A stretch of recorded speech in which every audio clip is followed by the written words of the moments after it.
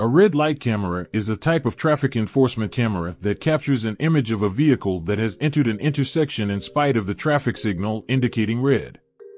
By automatically photographing vehicles that run red lights, the photo is evidence that assists authorities in their enforcement of traffic laws. Generally, the camera is triggered when a vehicle enters the intersection after the traffic signal has turned red. A citation is then usually mailed to the owner of the vehicle found to be in violation of the law. Red light running happens frequently and is often deadly. In 2020, 928 people were killed in crashes and an estimated 116,000 people were injured in red light running crashes. Since it's impossible for police to be at every intersection, cameras can fill the void. Red light cameras have been shown to reduce both red light violations and crashes.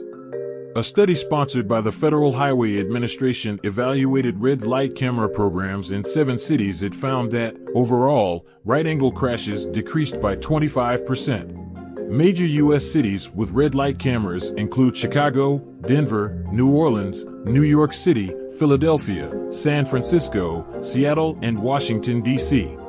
Like other government policies and programs, camera enforcement requires acceptance and support among the public as well as elected officials.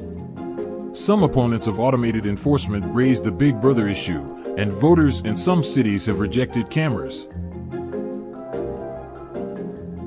But cameras don't violate privacy.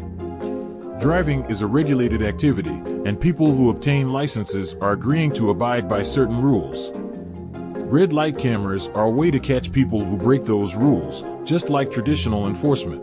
Overall acceptance of cameras always has been strong. Most law-abiding drivers support their use. Although Las Vegas ranks fourth in the top 10 cities for the number of red light running collisions, they are currently banned in the state. But as public pressure in Nevada to control traffic continues to rise, we may be seeing red light cameras in the near future.